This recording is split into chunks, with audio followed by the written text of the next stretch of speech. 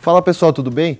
Depois do Xperia X, a gente traz agora o review do Xperia XA. Ele é um aparelho de 5 polegadas para um mercado intermediário. E mais informações você confere agora em nosso review. Continuamos com o clássico design da Sony, formato retangular com os botões Power e Volume na lateral direita e o slot para cartões SIM e microSD na esquerda do aparelho. Na lateral superior, temos o tradicional P2 um pouco mais deslocado para a esquerda. Também encontramos na direita do modelo um botão dedicado para a câmera que ajuda na hora de tirar fotos. A traseira é de plástico, mas não deixa o aparelho frágil.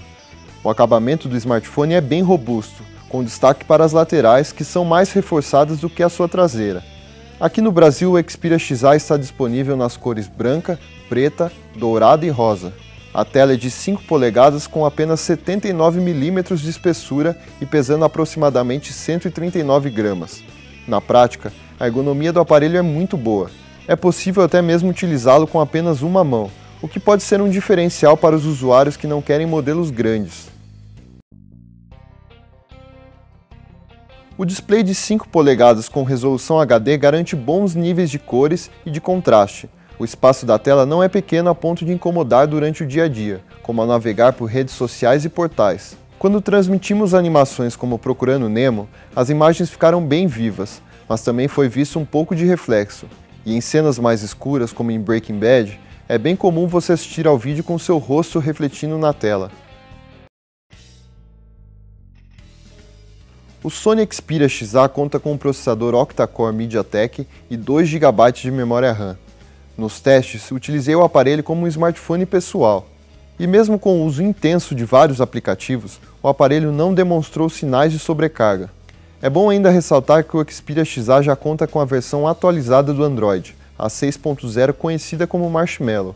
No geral, a interface é muito parecida com a de outros aparelhos da fabricante, ou seja, não é muito personalizada, mas ainda está longe de trazer aspectos mais puros do Android. Por isso, a quantidade de apps pré-instalados pode incomodar alguns usuários.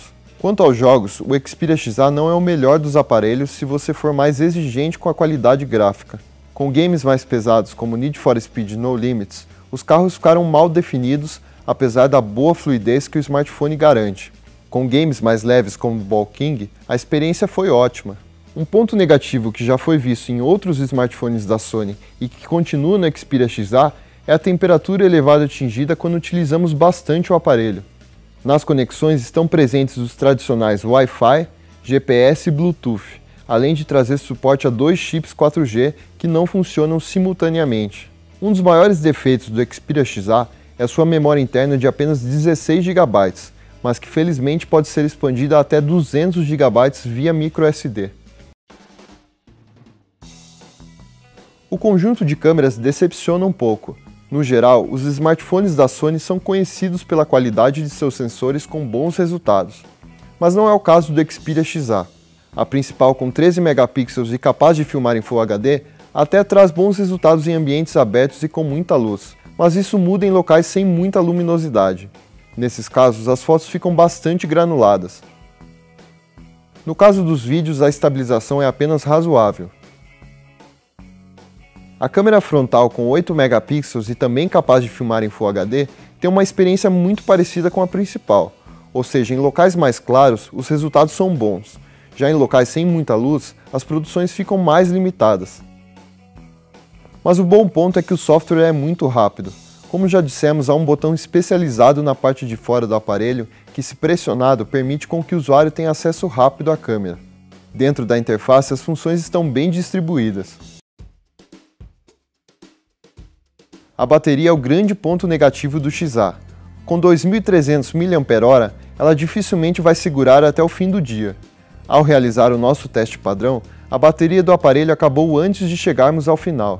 Realizamos outro teste mais leve, utilizando casualmente as redes sociais, GPS, jogos, ouvindo algumas músicas e acessando portais de notícias. E em 7 horas restavam apenas 4% de bateria, uma marca bem ruim. Pela faixa de preço em que se encontra no mercado, o Xperia XA bateria de frente com aparelhos mais robustos como o LG G4 e o Moto Max, e esses aparelhos são indicados para quem não quer apenas o básico. E seguindo essa proposta, o Xperia XA deixa um pouco a desejar. Ele não possui o melhor conjunto de câmeras nem a melhor duração de bateria, mas garante um bom desempenho e possui um acabamento moderno, o que seria indicado para quem não quer um aparelho muito grande. Bom, e se você gostou do Xperia XA, clique aqui e confira suas ofertas. Se você ainda tem alguma dúvida, deixe aqui nos comentários. Não esqueça de curtir esse vídeo e compartilhar com seus amigos. Um abraço!